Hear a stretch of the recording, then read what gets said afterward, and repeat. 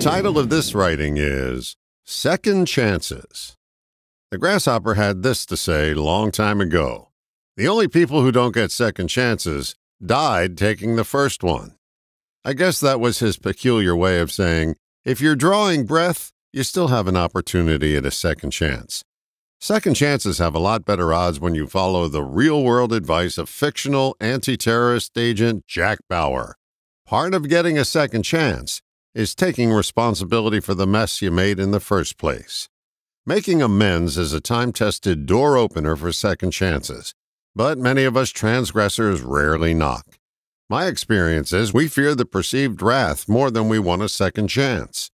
The perceived wrath is being wrong. The paths we'll travel to avoid the direct route of admitting wrong are countless. None of those paths lead to second chances. Being wrong doesn't fit in with our made up image of ourselves. We've come to believe that we are our beliefs, and one of those beliefs for many of us is that we can never be wrong. Being wrong shatters the perfection we have assigned to our way of believing. Notice that you can more easily believe in right than you can wrong when it comes to you.